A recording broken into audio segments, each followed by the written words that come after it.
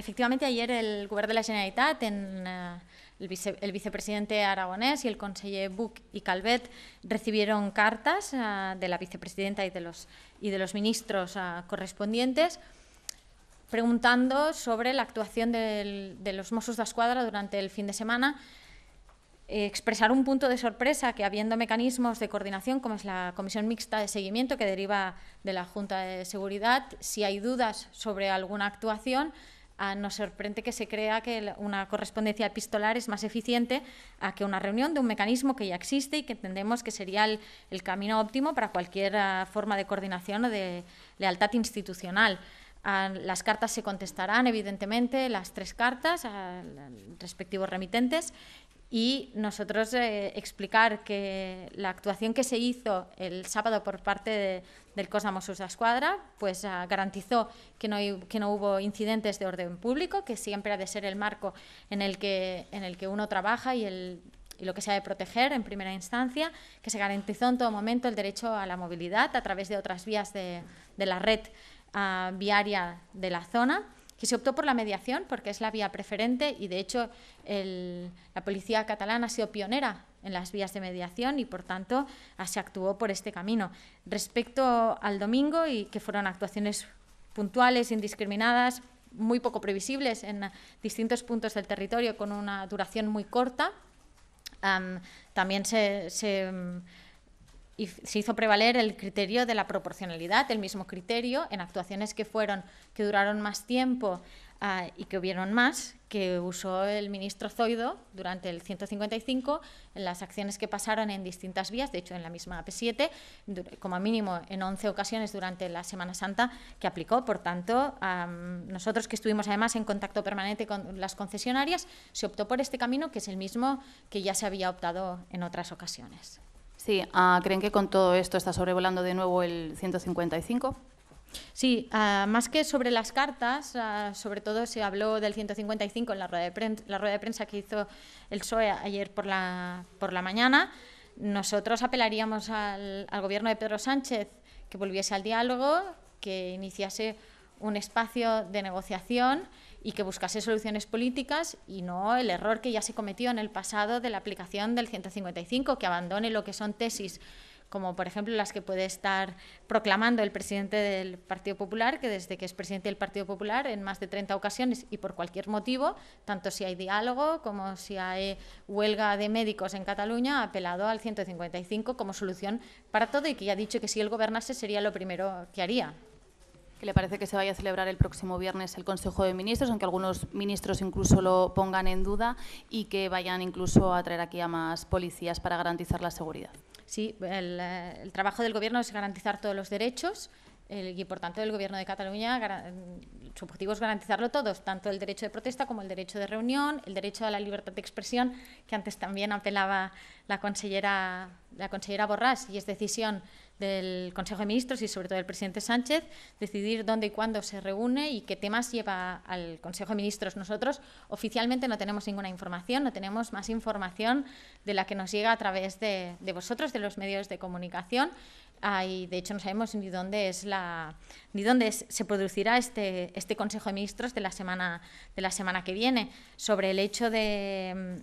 de que puedan desplegar eh, cuerpos y fuerzas de seguridad del Estado en Cataluña, a nuestra convicción es que los Mossos de Escuadra ya garantizan la seguridad y que si en cualquier momento el Gobierno del Estado cree que hacen falta efectivos, pues que hagan que cumplan con sus obligaciones de la financiación de la policía catalana y que nos permitan pues ampliar la dotación de cuerpos de Cos de Mossos d'Esquadra. Eh, no sé si nos podría confirmar si se ha producido una reunión en la delegación del Gobierno en la que también estaban los Mossos d'Esquadra, la Guardia Urbana, Policía Nacional y Guardia Civil para preparar ese dispositivo de cara al viernes. Sí, hay, hoy había una reunión convocada desde hace semanas en la delegación del Gobierno, que son reuniones que se producen habitualmente o de manera regular de coordinación estaba convocada antes de la,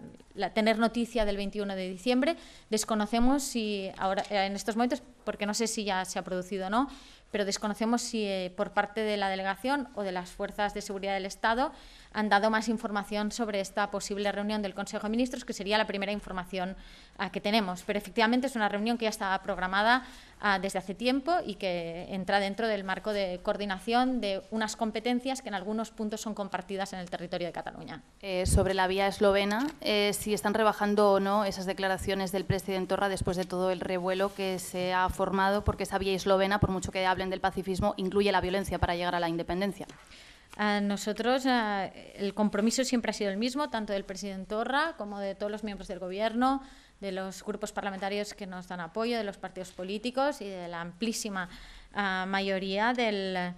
movimiento independentista. Seguimos estando en el mismo carril, el de la democracia, el del civismo, el de la no violencia y entendemos las expresiones del, del presidente Torra como una determinación sobre la democracia y sobre la libertad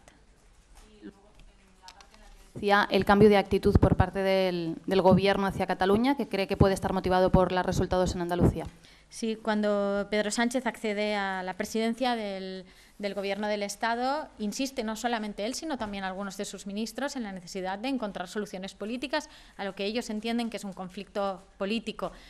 poco a poco está habiendo un cambio y no solamente no se hacen pasos adelante, es decir, pasar de las palabras a los hechos, sino que incluso las palabras están cambiando y, últimamente, y, en especial en la última semana,